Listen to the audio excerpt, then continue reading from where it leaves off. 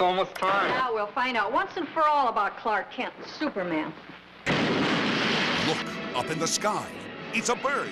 It's a plane. It's a TV show. Yes, but who is he? What's his name? He's Superman, Golly, Clark, won't that be wonderful seeing Superman? fighting a never-ending battle for truth, justice, and television the Me TV way. No one can do the things that Superman does. The adventures of Superman. Now on MeTV Fresno, Xfinity 187. Hi, I'm John Malos. Welcome to this live edition of Connect with Me on the showroom floor at Ventura TV on this day. Today, the main focus will be the Armenian Genocide, the 100th anniversary, of course. We'll have a guest in the studio here to talk about that and a special concert coming up next weekend. Also, in the second half of the program, we'll talk a little bit about this uh, plastic bag ban. And then, how about the vote last night at City Hall? Holy smokes. 436 Me TV. Option 11. Back in just a moment.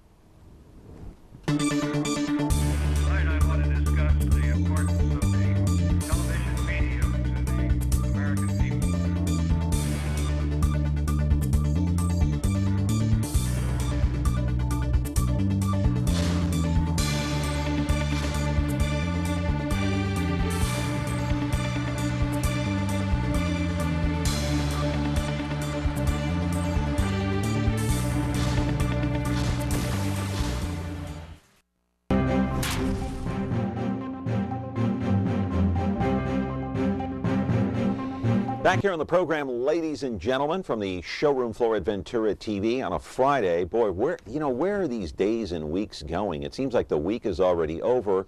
March is starting already. It seems as though we just uh, finished the holidays, Christmas and New Year's. My goodness. And the vote, of course, took place last night at City Hall. We'll talk a little bit about that. And I'll even get out my flip flops, my friends, and talk a little bit about one council member who flip flopped last night. It is no secret. Uh, it's in the paper today. It's in your Fresno Bee. We'll talk a little bit about that and then talk a little bit about this plastic bag uh, ban. But for now, we're going to talk about the 100th anniversary of the Armenian genocide. That's going to come up. That's the main focus. First, I want to tell you that we're live on Comcast, channel 187 and 43.6, and now 13.1, of course. The replay comes later in the day at 2 o'clock on YouTube, 13.6, 8 o'clock tonight, 4.6, that would be Biz TV. And in the Twitter account, I promise you I will update this over the weekend. It's, uh, if you want to follow me on Twitter, it's John, at John Malos, Me TV. Now to the main focus of our program, and it is the Armenian genocide. And the Central Valley, as you know, is home to about 40,000 Armenians strong right here in the Fresno and surrounding area of the Central Valley. Many of those lost relatives, friends in the genocide they will never forget. I want to roll the videotape. Very disturbing images, as I might uh, add to this. To this day, it is one of the worst one of the worst tragedies and mass killings of Armenians that came under the Ottoman rule back in 1915. And by the time it was over, up to 1.5 million Armenians had been slaughtered. To this day, the United States government does not recognize the genocide. That alone, my friends, is a tragedy in uh, and of itself. The fact that 23 countries around the world do recognize it. There were death marches across Syria, the Syrian desert. Some 250 Armenian intellectuals and community leaders were rounded up and arrested in Constantinople. Other men and children and women followed, and it appears those death marches were designed to exterminate the entire Armenian population. Live in our studio right now to talk about the genocide and to talk about the Armenian genocide uh, is John Chookasian. He is right here. He is going to talk about the Armenian genocide centennial concert that takes place at Fresno State uh, next Sunday, March the 8th at 2 o'clock. We're going to take your phone calls. If we can hold it down here in the studio, 436 Me TV, option 11. We're back in just a moment. Tune in to Heartland for the best in true country music. Relive vintage specials, one of a kind concerts, and country music's earliest videos. Heartland is the heart of country, the only place where you can find country music, country stars, and country lifestyles 24 7. Heartland, the heart of country. Now on channel 13.2.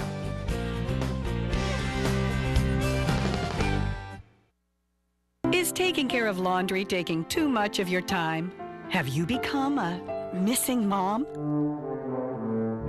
With a new fast, efficient washer and dryer from Ventura TV Video Appliance, you'll spend more of your day the way you want. Save now on Frigidaire's advanced affinity laundry pair. Let Frigidaire save you energy, water, and time. Don't spend your life on laundry. Upgrade today at Ventura TV Video Appliance and save. Back here on the program, connect with me, 436 Me TV option 11. John Chookasian is here to talk about the Armenian genocide and the concert that's coming up. Welcome to the program, John. I appreciate your time. Thank you, Mr. Malos. I'm uh, a- really an admirer of yours. I've been following your career for quite a while, Oh. and you're a credit to the TV industry, sir. Well, I appreciate it. You're a credit too to your industry, and I appreciate you being here. I want to roll the videotape again of the Armenian genocide, and um, you know, I don't know if you lost friends or relatives in in, in the genocide. You did. Lost my Many- whole family. Many of the people who live here that are Armenian here in the Central Valley in Fresno uh, did, in fact, lose uh, many of their relatives, and it, it's it's a crime. We'll put the map up again later. Uh, we did that during the monologue a little bit, but talk about, you know, talk about the genocide, the, the fact that this government doesn't recognize the genocide. Yes, it's very, Go ahead. very true. That's un, that's one of the most unfortunate things that we as Americans we talk about justice, we talk about equality, we talk about many aspects that are really should be part of every society in the in the United States and the world, and yet something as tragic as the first genocide of the 20th century is being totally, totally ignored by our American government because the Turkish lobby has paid millions of dollars to these American PR firms, and they go and lobby our congressmen and senators to more or less support their denial. And this is a tragedy within our own government, and it's very sad, and it should stop immediately because genocide, no matter what nationality it is, it's something that should never, never, never happen again. And Hitler said why he basically caused the Holocaust.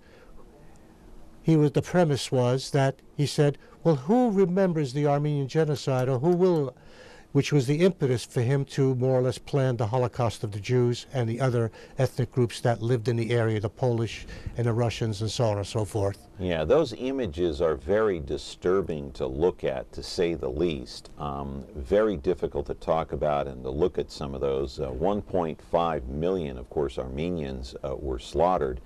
And so, um, you know, the fact that this government doesn't recognize it, um, what does that tell you about some of the other countries that do not recognize it as well? There's only 23 around the world who, that, that do. It's because of the lobbyists in Washington. They're paid handsomely to go and, and solicit votes from the congressmen and from the senators to vote against any genocide, especially the Armenian. And this is the tragedy of justice, and this is the tragedy of our society. Uh, my parents went through the Armenian genocide, and it's a it's a wonder that they even lived. My mother uh, was one of seven children. My grandmother had to bury five of her children in the desert sands because of deprivation of water, food, and exposure to the sun. So, I mean, our whole family was wiped out. My father's whole family was wiped out. He's the only survivor. My mother was the only survivor. I want to I want to put that map up again, John, and and I don't totally understand the map when I look at it. And there's several different maps online of the of the death marches. and Yes. it's, it's kind of hard to tell. We see all the, Okay. all the all the countries there. I'll let you pick it up. All right, you see the circles? Mm-hmm. The larger circles indicate that that was the hardest hit area where they wiped out the men, women, and children. The smaller circles indicate that there was not as terrible of tragedy. So you see three huge circles where most of the population of that area was hmm. murdered, raped, or sent into the Syrian desert to die, which most of them did. So that's that's it. And let me just mention too, this is not just about the Armenians. It's about the Greeks, it's about the Pontian Greeks, it's about the Assyrians, it's about the whole Christian population of Turkey. The aim of the Turkish government at the time, the Ottoman Turks, was to basically rid all of Turkey of its Christian population. Mm-hmm. And anybody that was a Christian unfortunately suffered at that time. These were the radical ideologists, and it was basically three people that were the leaders. One was Enver, one is Talat, and one is Jamal. Now, as we see that map there, John, is this a modern day map? Is that modern day Armenia, Turkey, Syria, Iraq as yes, we know it- it this today? is a modern day map that's indicating the horrors that happened within that area in the green. Mm -hmm. in the green. And In the so these death marches, they took the intellectuals out first. Yes, they did. About Yes, 200 did. or so, right? But you see out of Constantinople. Is Right, that correct? And they correct. marched them across the desert. Then men, women, and children followed after that. Yes, you see that large circle in the desert right above Syria? Yes, sir. That's the people that perished in the desert. And many Mm. of them basically died, again, of deprivation from water, food, and exposure to the sun. Many of the people were naked walking through the desert. So it was, and they did horrible things to women. They, besides the raping, they tortured them, they burned them, and they called us infidel pigs because we were not believer, believers of the faith. These were the radical Muslims. We're not talking about the regular Muslims of, of, of society. We're talking about the radical Muslims. Just like 100 years later, ISIS is the radical Muslim that we are facing today. So 100 years later, their ideology has not changed this is the sad thing that you know you think that history would teach us something important about humanity about about the way to treat your fellow man but you know when you murder someone because they don't believe the same way you do this is really a tragedy in the 21st century this is what's sad It really is, and um, you know, I didn't realize that uh, there were there were other ethnic groups besides the Armenians there during Absolutely. during the marches. And you, you mentioned Greeks and who else? Greeks and Assyrians and Christians that happened to be in the area because they were not privy to being, uh, just because they were uh, German or French or American or anything else, they were not privy to basically to be saved. If the Turkish army uh, wanted to exterminate them, they did it on the spot. So there was no question about, you know, their, again, the reason, that one of this, the political reason why this happened was as of world before World War One, because the Turks treated all of their people under their under their basically under their domination, like the Bulgarians, Romanians, Hungarians, Albanians, and all of North Africa and all of the Arab countries. These were we were all second-class citizens, the minorities and majorities. No one was equal to the Turk, unfortunately.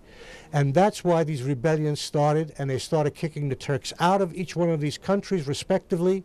And as a result, millions of Turks were pouring into Turkey without food, without shelter, without jobs. And they saw the affluent Greeks and Jews and Armenians and Assyrians. And this was one of the reasons why, uh, besides the religious aspect of it, this is one of the reasons why the people were slaughtered and driven out of their homeland. Armenians were there as of 5,000 years. And of course, there's only few remaining. And of course, most of the Greeks are gone. The Pontian Greeks are all gone. And the ancient Cappadocian Greeks that basically were part of Alexander the uh, Great, they're gone too. So all you have is just basically Yeah. Greeks now living in Istanbul. And that's about it. And even there, the Turks have closed the Greek schools, they've closed their monasteries, and so on and so forth. So there is no Okay. justice, unfortunately. This is the We're- sad part of our We're gonna we're gonna come back with John Chookasian, the uh, Armenian genocide, 100 years old this year. Uh, April 24th uh, marks the date, and it is the first modern day genocide here um, that we can talk about. 1915, 436, Me TV, option 11. Back in a moment. When you're looking for Whirlpool innovation and quality, who has the answers, the selection, the price? Ventura TV Appliance. With billions in nationwide appliance buying power, more than Home Depot and Best Buy combined, we'll help you save. Our low prices on Energy Star qualified Whirlpool appliances save you energy and money and pay no interest on select models when paid in full within 12 months. Ventura TV Appliance, serving you since 1951.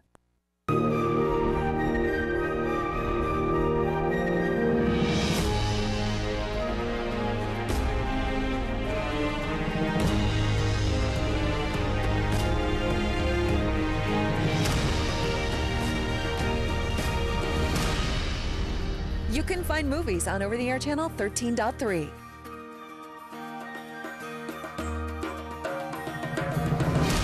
Movies. Our name says it all. Ventura TV Appliance Center. We're the low price leading brands reliable advice place.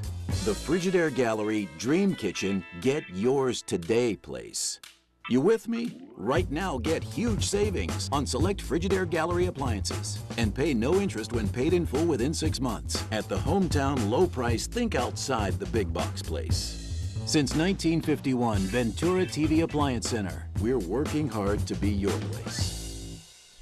We're back here talking about the Armenian genocide, and I do want to hold this poster up. It's called the Armenian Genocide Centennial Concert. Uh, here's the poster right here. It takes place on March the 8th on Saturday at 2 o'clock at Sunday, Fresno Sunday. Sta- oh, Sunday, I'm sorry. Sunday at 2 o'clock, March the 8th. And um, John, this is your concert. I see here t- featuring the Chookasian Armenian Concert Ensemble. Is Yes, that sir. correct? That's correct, sir. Yes. All right. Tell me a little bit about that. Well, all of the musicians we've been we've been doing concerts and festivals for the past 22 years. All of the musicians in the ensemble are conservatory graduate musicians from Armenia and the United States, and we play traditional music of Eastern Armenia and historic Western Armenia. We are the only group in the Oh. United States that does this. There are wonderful groups throughout the country and around the world, but we're the only one that play the music of historic Western Armenia, which no longer exists, which is present-day Turkey, and of course Eastern Armenia, the new republic. And of course on the program you're going to have the uh, wonderful Hamazkayin dancers from LA, the Nairi dance group, and there'll be about 30 of them. So it'll be a really a beautiful program dedicated to the commemoration of the Armenian genocide with the Nairi Folk Dance Group and the Chookasian Armenian Concert Ensemble. And this is really for the entire community. This is not an Armenian event, it's for the community event. And please come and support this because we want to put a stop to genocide anywhere in the world. It's wrong, it's wrong, it's wrong. Killing people by the hundreds of thousands is not a cure.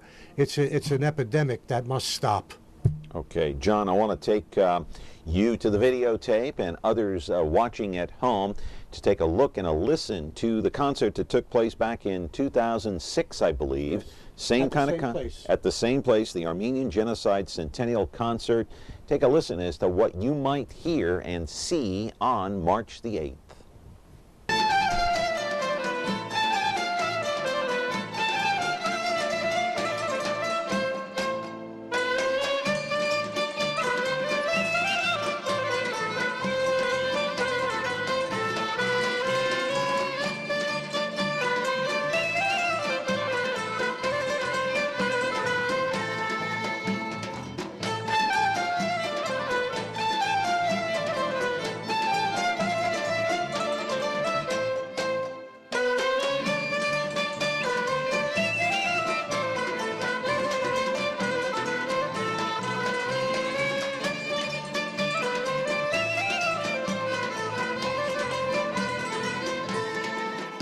Absolutely beautiful music there. Now, where can t- people purchase tickets? Well, there are several places. If you want to buy it online, it's brownpapertickets.com, or you could go to Fresno Deli on Gettysburg, Okay. or you could go to Nina's Bakery, which is on West and Shaw, or you could go to the Royal Market Deli, which is off of Marks and Bullard, or you could go to Dr. Kalebjian's office, which is off of uh, Palm, not too far away f- from basically the, the uh, Fig Garden uh, shopping center. So these are the four places that you can obtain tickets at. Three at the delis, and of course at brownpapertickets.com. And now, it's very about, what, nominal. Twenty dollars. Twenty dollars and fifteen dollars for students and and kid children. Okay. Yeah. Okay. And and and tell us a little bit about the ensemble and how how the group was formed. Well, because of the Armenian earthquake uh, that happened, many people were displaced because there was no jobs for them. So the Armenian musicians had to seek work elsewhere. So many of them traveled around the world, and a large contingent came to Los Angeles. So we were lucky enough to more or less uh, talk to these conservatory graduate musicians and tell them about our ideology that we want to form a, a, uh professional concert group to, to more or less work around the world. And when we established that, our first concert was at the Mark Taper Forum in Los Angeles, and it was packed. And we were all surprised that, uh, and they were all non-Armenians that, that came. Later on, as the group advanced, the president of Armenia personally invited us, and he, we did a one-month concert tour, and we're the only group from in California that's received the gold medal from the Armenian president himself. We have the National Gold Medal Award from the Armenian government. Really? And you yourself have actually won uh, this Emmy Award here. Uh, talk Yes. a little about this thing is heavy. Go ahead and hold that up. Well, I'll hold it up. How's that? I'll hold it Yeah. up. Now, what is this exactly? Okay. And where did you? Uh, how did you acquire this? Okay, You we didn't buy this at Walmart, did you? No, God, no. oh my God, no. Yeah, this was this was awarded to you. This was awarded to us by the, this was the Armenian Grammy Award, and this is an international award.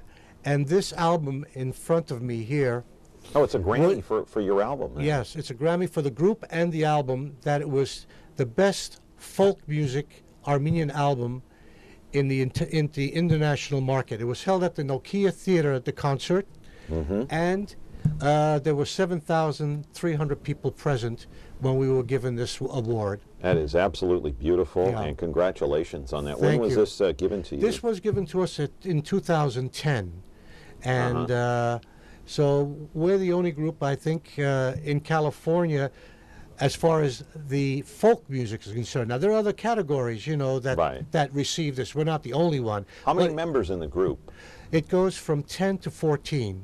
The Mhm. average is usually 10 in our group, you know, and Yeah. we do basically, like I said, concerts and festivals. I want to hear a little more music, don't you? Thank a you. little bit more music uh, before we go to break here. Let's roll the videotape. And this is uh, videotape number two of the Armenian Genocide concert celebrating or commemorating, I should say, that's the correct term, commemorating the 100th anniversary of the Armenian Genocide.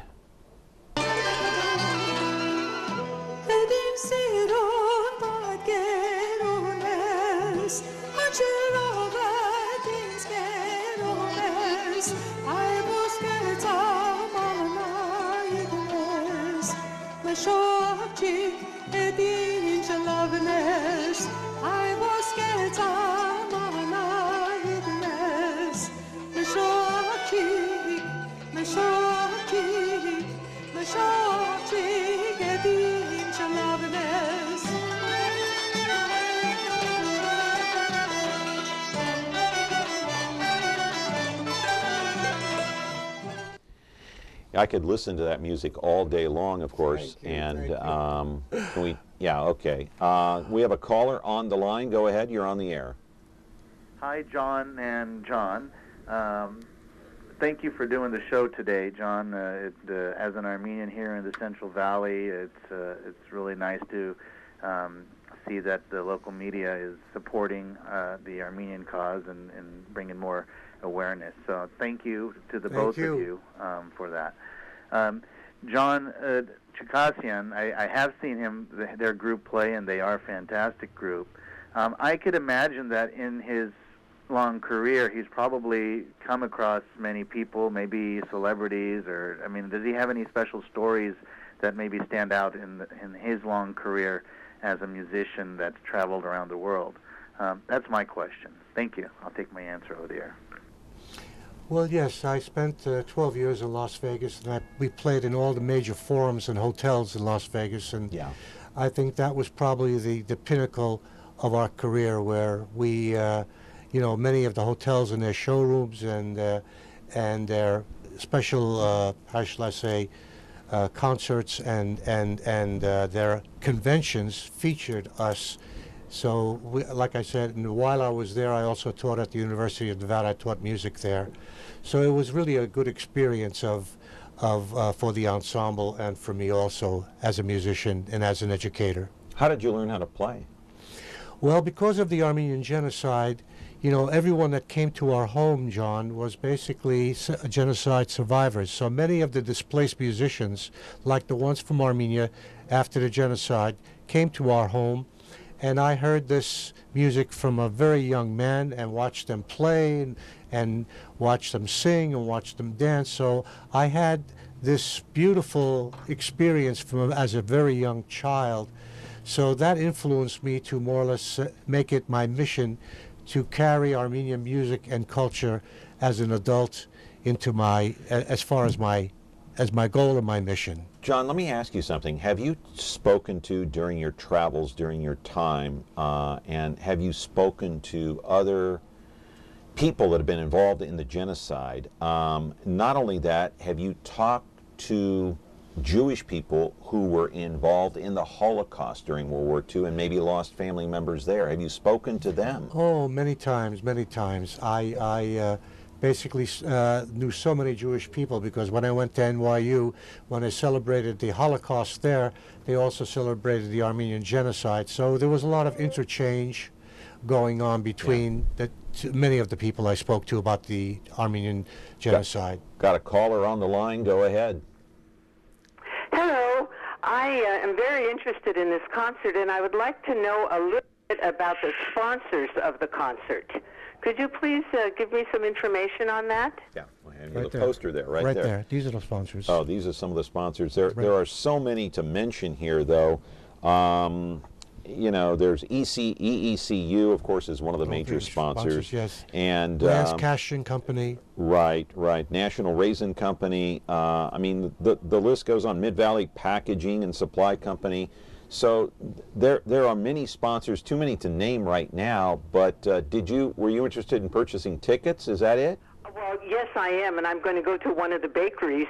But my question really is is this being put on by the university? Is it being sponsored by an Armenian group? That is my question. It's being sponsored by the Ani Guild of the California Armenian Home, and this is their dedication to the Armenian genocide because don't forget the home was started because these were the genocide survivors and they were getting old and there was basically no place for them. That's why the Armenians established the California Armenian Home. And thank God it thrives today, and it's and it's really one of the was. If you haven't seen it, you must go out and see it. It's one of the most beautiful facilities in Fresno for seniors. So the Ani Guild, this is their annual event and fundraiser to bring money to the home so that people that more or less will be living there and are living there will have more comfort and more uh, things uh, you know available to them. So it's the Ani Guild of the California Home, sir. Right, right. Time to take a break here with John Chookasian, and uh, the concert takes place on March the 8th, the 100th anniversary of the Armenian Genocide. At 2 o'clock on March the 8th at Fresno State. Uh, back here on the program, 436 Me TV Option 11. Don't forget, uh, in just a few minutes, we'll talk about the ban on plastic bags. It may not be a ban after all, it's going to a referendum. That's right, it'll be on the ballot. Back with your phone calls and much more of the program in a moment. Attention all units. We have reports of two motorcycle cops protecting California's highways.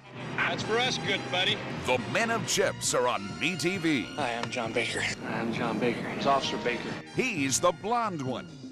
Hi there. Officer Poncherello, man. Frank Poncherello. Oh, I'm Frank Poncherello. And he's the one who's Erik Estrada. There's no way I wouldn't remember a name like that. Catch the blonde one and the one who's Erik Estrada. On now Chips. on Me TV Fresno, Xfinity 187. Hi, uh, we're back here on the program. We're talking with John Chookasian, talking about the Armenian genocide. Caller, you're on the air. Go ahead. Yeah, good, good morning. Morning, both of you. And to John, uh, our guest for t- this morning. Thank you. Uh, John, is there going to be Armenian dancing with the public that comes? That's my first question. and the second question, what type of work do you do or business you have? Or is, is the ensemble your business? I should also ask that. Well, um, okay. Great- and thank you. I'll take your question or answer off Okay. the, on the air. Thank you very much. Two great questions. So, dancing, you have to have dancing. Well, the thing is that, yes, we're going to have the Armenian folk dancers from LA, the Nairi group. Yeah. And they're wonderful, and they have beautiful costumes that have been made in Armenia. Yeah. And the Don't be surprised if some of the audience members get up and dance as well. Well, you know, it's like it's like what it's, it was like, you know, the uh, old Greek commercial on the airlines. If you want to dance in the aisles, it's up to you. You know. but it's so infectious, you know. Yes. Once you see the dancing, you have to get up and dance. Go well, ahead. and the second part, I'm a retired educator. I retired from Bullard High School. My wife retired from the Madera School District. But Yeah. since since childhood, Armenian music and culture has been my passion, and I've done everything in my power to promote it in all levels, not just to the Armenians, but the general public. We have played many, many concerts and festivals where there wasn't one Armenian in the audience and it was jam-packed. So, you know, music and dance is an international language that, that has no barriers. Just like if you go to an opera, most people don't understand Italian, but they love the music. So it's the same thing with Armenian music or Greek music or French music. It's, it's, it's a communication that really brings people together. And, and the money again goes to The, all the money that is derived from this, from the ticket sales and the donations, go to the uh, California Armenian Home, Yeah. and the Ani Guild will be presenting them a check in the future to help them with their projects. Is there a movement uh, to change the minds of those people that sit in Congress right now to recognize this genocide? I, I want to know if there's a if there's a movement right now. I mean, there should be if there isn't, right? Well, John, you know, for over, where are we now? Since 1923, when the genocide basically ended with the, with uh, most of the Armenians and Christians and Greeks and Assyrians and Jews, not so much the Jews, but uh, being more or less driven out of their homeland. Uh, you know, we've been basically fighting this. Uh, you know, President Wilson uh, accepted it, and he was going to have a mandate for Armenia, so that, that la- those lands would be preserved. But because again, because of political ploys and, and undercurrents and so on and so forth, it didn't occur. But you know, the American people, and I have to thank them a, a million, million, million times. If it wasn't for the Near East Foundation that was established by the Americans in the United States, most of the Armenians in the Middle East would, would have perished. They provided millions and millions of dollars to give aid to those that came out of the Syrian desert, out of Deir Zor, and other Armenians that basically were displaced all over the world, especially in, in Syria and in Aleppo, where my mother was put into an orphanage and she was sold to an Arab family. And then later on, it's a long story, but she managed to leave there and, and come to the United States because my relatives sent money. But the point remains is that we've been fighting this since after 1923 to no avail. And this is a tragedy. This is a tragedy to our senators and congressmen. And all I have to say, those that have been voting with Turkey, shame on you. Shame on you for not holding up justice for an ethnic Christian group that rightly deserves it.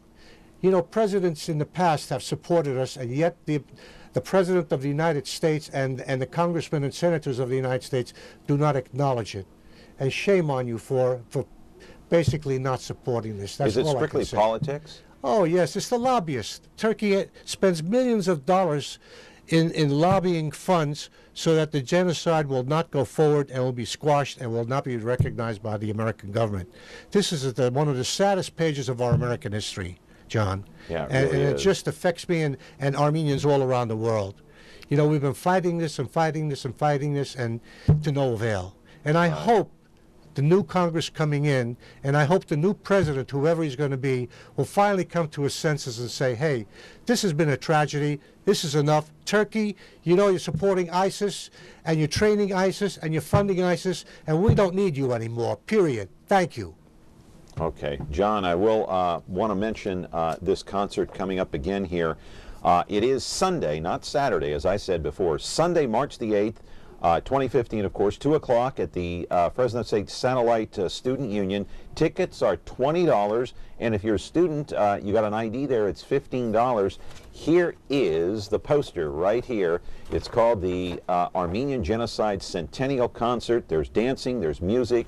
Hey, there, there's even dessert, right? Yes, there's dessert too. The Ani Guild is pro- uh, Any- providing that. Any baklava? well, I'm sure they're gonna have. I'm sure they're gonna have something ethnic. Yes, yes, John. You know, All these right. are a great group of ladies. These are a great group of ladies that have been serving the home for, you know, almost 60, 70 years now. And each time they have raised so much money for the Armenian home, and I Yeah. applaud them. They're a wonderful group of ladies uh, that have really, really supported the home, and of course the sponsors have have supported the You know, home. as, through the as I go to break, we hadn't planned this. As I go to break, I do want to play one of the concert videos as we go out uh, one more time. And before I do that, I want to thank you, Mr. Thank. Chookasian. Thank you. Thank It's you. It's been a pleasure. Well, you're a And- gentleman and a scholar. Thank, you. Thank you. I appreciate that. All right, and come back on our show again sometime. When you invite me, I'll be happy All to. right, And congratulations for this, the Emmy. All right. Thank it's you. Uh, Sunday, March the 8th, 2015. Here's what you'll hear and see.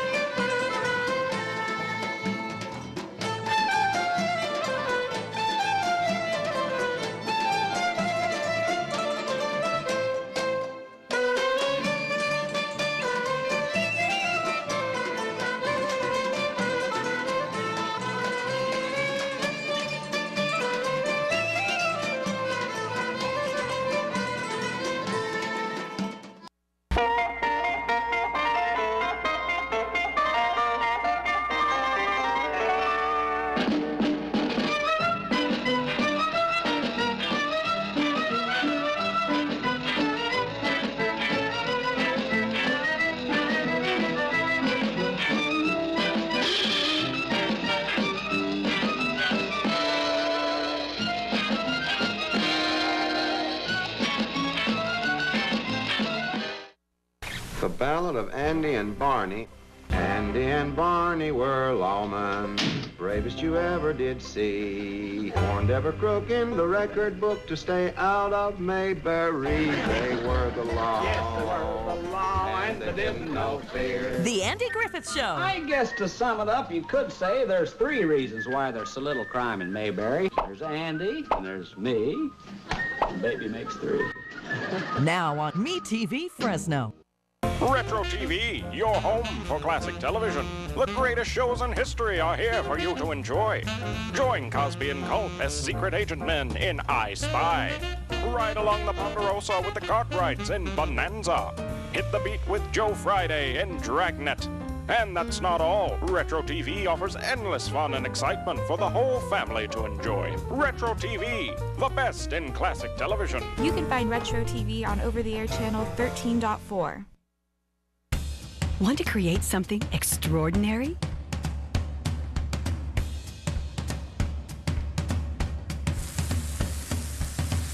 Create perfection. Our lifestyle appliances make it easy.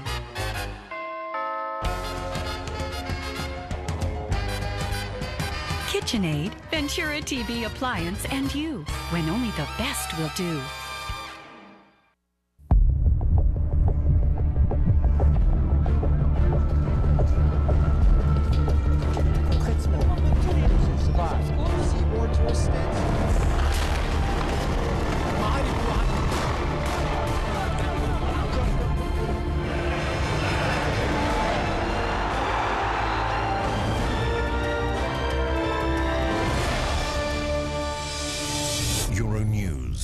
Watched news channel in Europe.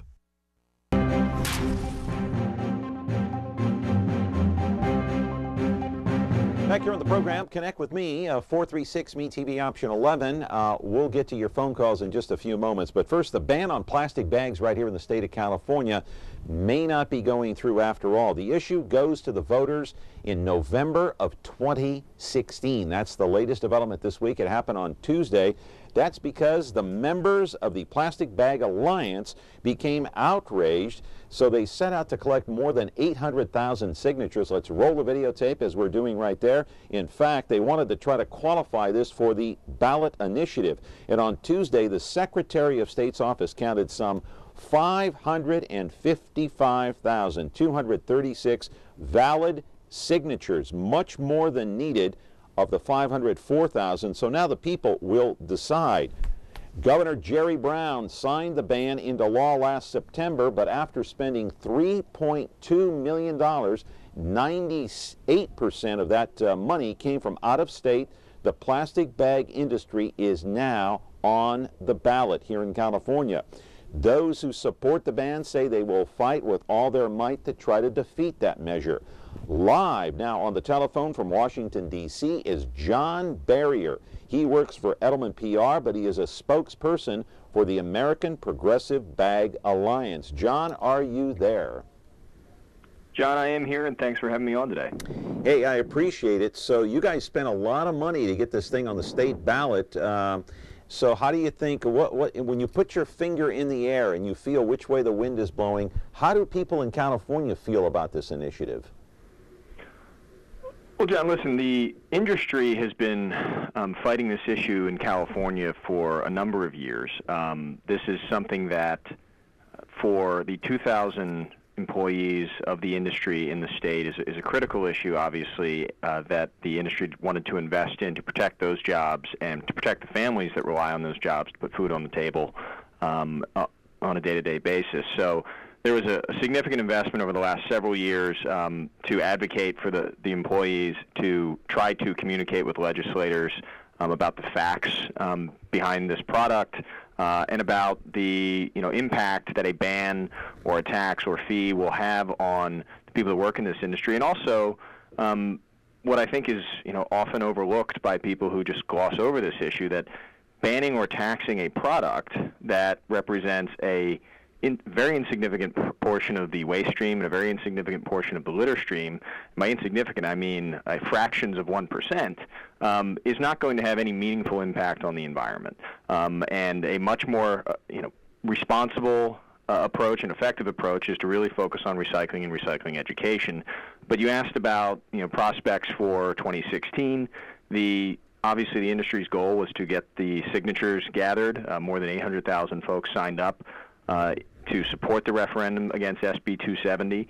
And you know, we believe very confidently that once all the facts are on the table, and after a significant voter education campaign, people will understand that this bill was never about the environment, that it ended up being a backroom deal between the big grocers in California, um, members of the California Grocers Association, and their union buddies uh, that you know they they obviously can supply with funds to scam consumers out of billions of dollars in bag fees. Because as I think you know, and a lot of your listeners might know, this bill bans plastic bags, but then puts a 10 cent fee on paper bags and thicker plastic bags, what they're calling reusable, but um, we can get into that in a little bit.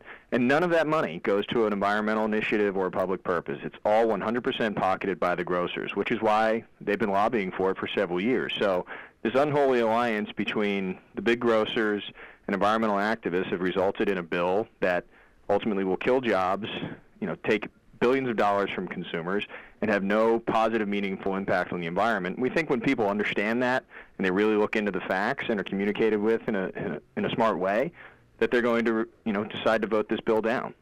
Yeah, hey, John, um, I'm going to ask you, you said this thing is not about the environment, yet there are those opponents uh, uh, of this, uh, of the plastic bags that say, you know, it takes hundreds of thousands of years uh, for those bags to actually disintegrate. It's bad for the environment. It's polluting the, the waterways. It's polluting the oceans. It's polluting our landfills.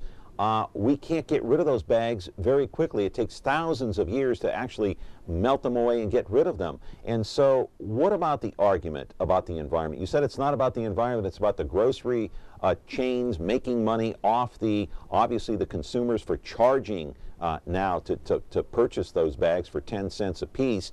But what about the environment? Is there some, is there merit to their argument is, is what I'm asking. Well, the idea that, that banning a product that is made in the United States from natural gas and that is 100% recyclable and that's not 90% recyclable, it's 100% recyclable. It's a product that all you have to do when you're done with it, you can take it back to the grocery store, bundle them up over the course of several weeks, put them in the bin, and they are taken back to be recycled into new bags, into plastic decking, uh, into plastic benches. Uh, that all of that occurs on a regular basis with um, the plastic bag, film, and wrap recycling infrastructure that's been built around the country by you know members of the plastic bag manufacturing and recycling industry. So when you're talking about banning a product that represents half of 1% of the waste stream, uh, according to the United States Environmental Protection Agency, less than 1% of litter in anywhere that it's been studied, that is generally the average amount. The idea that banning that product is going to have a meaningful impact on reducing overall waste or litter is simply false. And for the environmental activist community, which has been very vocal on this issue for the last several years, this is you know, little more than an easy target because it is visible. Um, it's something that people use every day. And when you make a lot of claims that aren't founded by fact and you use a lot of imagery and emotional arguments to um, try to convince people that this is the right thing to do, that can be effective. But at the end of the day, when people understand that this is a fundraising mechanism for the environmental activist groups, that by getting this type of hollow victory, uh, they were able to fundraise off of it and pursue other environmental legislation uh, that may or may not be um, wise legislation when you look at it from, from all angles. Uh, that's ultimately what this is. And that's why they figured out if they could band together with the grocers and call this a, an environmental bill, um, but at you know, at the same time, all of this money goes to the grocers' pockets. I mean, if at any point this had been a bill that put some of this money to an environmental initiative or any public purpose, then the industry would probably have been a lot more inclined to talk about a compromise. And they have been for the last several years in California. But the grocers see enormous dollar signs. Again, we're talking billions of dollars every year. A study was done last year on this bill that showed up to $442 million per year will be reaped if SB 270 would go into effect, and all that money goes to the grocers from these right. bag fees and from sale of reusable bags. So, what? I mean, that's ultimately what this is when you peel back some of the layers, and that's why when voters understand this, our polling internally that we've seen on this issue is is very strong. 70% of California voters uh, are opposed to an ordinance or a law that requires a ban on plastic and fees on other bags that are kept 100% by the grocers. Hey, it's been widely reported, of course, in the LA Times and other uh, news outlets that uh, your organization, the American Progressive Bag Alliance, and a lot of these other organizations that are out of the state of California has spent uh, $3.2 million, 98% of which came from other places uh, besides California, to try to put this on the ballot. Now, once November 2016 rolls around, SB 270 will be on the state ballot. This is is a measure that it, it, it's you know it's going to be like a marathon to see who outspends who. Are you going to be able to outspend the your opponents on this because I, they're ready to put up a fight? I imagine they're going to spend millions, as will you. Well, listen, I, there's a there's a long runway between now and the November election in 2016. Um, there's a lot of organization that needs to to happen. There's um, you know a long time before voters will actually start paying attention to issues that they'll have to consider on the ballot in 2016, and it's going to be, by all accounts, based on you know estimates and um, media reports and just general information that's out there, it's going to be a very crowded ballot. A number of potential tax increases um, and a variety of, of issues that voters are going to have to consider. So, in that type of environment, you know, anybody who's counseling um, a, an entity or a campaign committee that is um, looking to get a positive vote on their issue, um, you have to put together a plan that effectively communicates facts, um, whether that's through, you know, earned media, paid media, um, direct contact with voters, um, and and doing that in a creative way. And California is a very expensive state to run campaigns in. I mean, you're talking hundreds of millions of dollars that are spent uh, during election cycles, whether for candidate campaigns or for issue campaigns. And this is going to be certainly a fight, but ultimately um, the industry knows that they are on the right side of this issue. And when you communicate the facts about it, it's impossible for the other side to deny that all of this money goes to the grocers. It just simply does. It's written in the law. But we know that people don't have all of that information uh, until they happen to peel back the layer uh, a bit. So that's something that we've been trying to communicate. And when they understand, when people understand none of this money that they're paying for these bags goes to a public purpose, we, we believe that they will overturn this bill, and that's something we're going to communicate very directly. All right, the ban, of course, on plastic bags has been on put on hold. It will no longer take place uh, this summer, thanks to the American Progressive Bag Alliance that put this thing or helped put this thing on the ballot in uh, November of 2016. And John, uh, one final thing, I, I got to ask you, uh, even if this thing uh, even if you were to win in November of 2016, or let's say your opponents win, I have a feeling this fight won't be over even then. It may end up in court. It could go to the state Supreme Court. It could go all the way to the U.S. Supreme Court. Do you see it that way?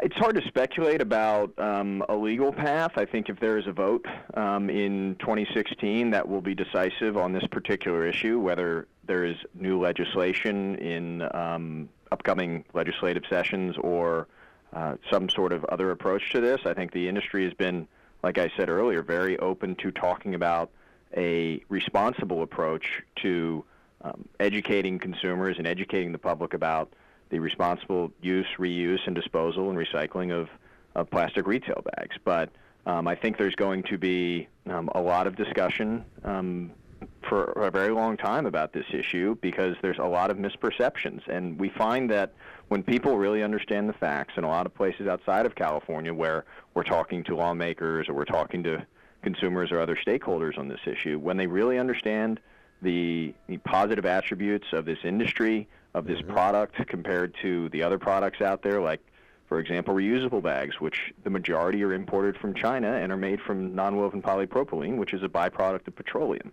when yeah. people don't use those products uh, any number of times um, to offset the resources that are put into making them and to transport them from overseas, there are a lot of unintended consequences. 500 million of those bags per year are uh, imported for the U.S. from places like China. So that's more than enough bags for every family to have, and most of those bags don't end up getting used. They're stored in a closet and they're thrown into a landfill. John, so me, we're, we're me... talking about again a 100% recyclable product where if people understand how to dispose of them, that there's a responsible way to recycle them, that they're made into new products on an everyday basis because John? the industry is invested in the technology to recycle and make new products out of that. Ru- running short on time here. Can you give me a 20 second answer before we go? A 20 second answer. Is there a happy medium to this? I think there's a happy medium if there is a ban off the table because the industry obviously can't stand for a ban on its product, which threatens the livelihood of its employees. A happy medium is a discussion around is there a way to put some money, perhaps a fee structure, on this product or a, a range of products where this money goes to a public purpose, environmental cleanups, um, things like that. And if money goes to a public purpose, I think there's a starting point for discussion, and that's what the industry has been very clear on when they've been talking to legislators and stakeholders for several years. But uh, unfortunately, that's not something that the grocers have been able to abide by. So, you know, we are at this point in time, but that is absolutely uh, a, a, a path for compromise. All right. John Berrier from the uh, American Progressive Bag Alliance uh, talking to us via telephone from Washington, D.C. Hey, John, we appreciate your time. And next time you're passing through the Central Valley, uh, I want you to be here on the set. You're welcome to be a guest here on Connect with Me. We would appreciate that. Will do, John. Thanks for having me on. Okay, thank you, John. Have a good weekend. Appreciate it. John Berrier, hey, three Johns on the show today. John Berrier, John Malos, and John Chookasian. We're going to be back in a moment here on Connect with Me to talk about last night's vote at the City Council. Frigidaire. It means the first electric refrigerator. The first compact electric range. Now, there's the Frigidaire Gallery Range with Symmetry double ovens. It's designed to cook multiple dishes at multiple temperatures, so you can prepare the entire meal at the same time. Frigidaire, over 90 years of legendary innovation. See the full line of Frigidaire appliances at Ventura TV Electronics and Appliances. From a top secret location, it's the spies who love me, bringing together MeTV's top super spies to fight evil at a memorable moment's notice. They're daring. That's right. Brave. Now what are we gonna do? The best we can. Suave. Does that apply to me, Oscar? Possibly. And smart. The old finger in the gun trick. Maxwell Smart. Me TV Fresno, channel 43.6 and Xfinity 187. Back here on the program, and last night's uh, City Council vote at City Hall, the vote was six to one in favor to pass the mayor's water rate plan, $429 or $29 million over the next five years. Your water rates will go up. Hey, my friends, I brought my flip-flops in today. You know why? Let's go to the City Council. And there she is, Esmeralda Soraya. Let me leave that up on the screen for a couple of minutes and explain what happened. The vote was six to one. The only one who voted against was Sal Quintero. Esmeralda Soraya, who wrote uh, an op-ed piece in the Fresno Bee yesterday, actually it was online on Wednesday, said she was going to vote against the measure. Now, what happened last night? She wanted to talk about the Fresno Irrigation District FID's contract in actually uh, conveying that water to the city of Fresno, capturing it from the Kings River, and then delivering uh, that water to residents here in the Fresno area. Uh, Oliver Baines, the president of the council, called a break. They went behind closed doors, and Esmeralda changed her mind. She flip-flopped, my friends. Now, I will say this also about Esmeralda. I asked her to come on the program here on Wednesday to discuss what vote she will take. Would it be yes or no? She said she did not want to reveal her vote before Thursday. Yet, she turned right around and wrote an op-ed piece for the Fresno Bee that appeared online on Wednesday and in Thursday's Fresno Bee prior to a vote.